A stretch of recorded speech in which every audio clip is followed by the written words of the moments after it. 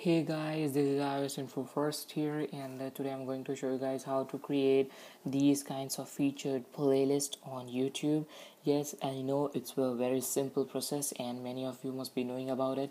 But I thought of making a video on it because when I was new on YouTube, I searched, uh, you know, to how to create these kinds of featured playlist on uh, YouTube and Google, but I did not get any satisfactory answer. So what i'm gonna do is i'm gonna show you guys how to do this and it's very simple how to create featured playlist. Of course you need to have a playlist first. So what i'm gonna do is i'm gonna create a playlist first of all. So you need to click on video manager on your channel then uh, in video manager click on playlist and uh, new playlist as it is here. New playlist and i'm just gonna name it jailbreaking. Jailbreak and it's done. You need you can add a description but I don't want it right now so I'm just gonna create it. And uh, it will take me to the window where you know you can edit your playlist so just I'm gonna click on add videos by URL then I'm gonna paste a URL add and it will you know successfully add that and I will save this thing. And it's done. It's very simple. It's as simple as that.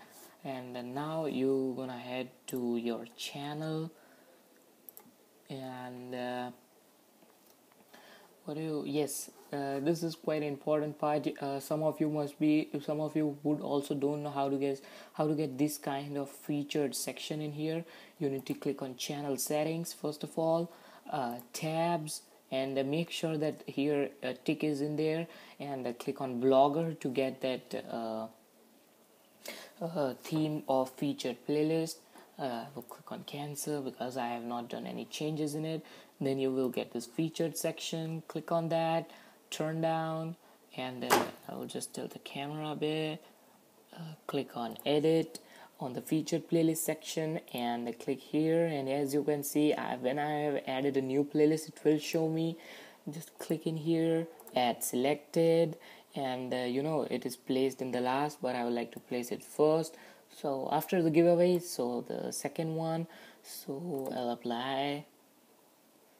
And uh, yes it is done. As you can see one video it shows in here and uh, it's done. So thanks guys for watching this video and uh, don't forget to subscribe and like this video. This will help me a ton to create these kinds of more featured playlists oh more featured videos. Sorry guys. Um, and again thanks for watching this video. Peace